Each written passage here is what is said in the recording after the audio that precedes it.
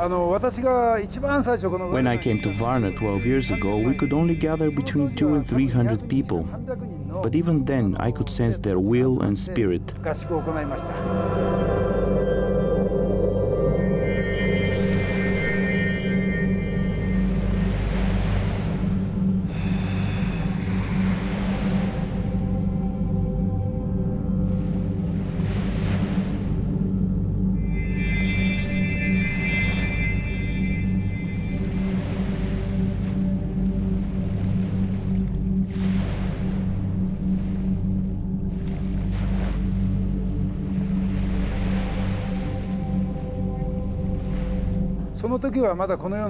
Back then, we practiced on the street. We didn't have today's facilities.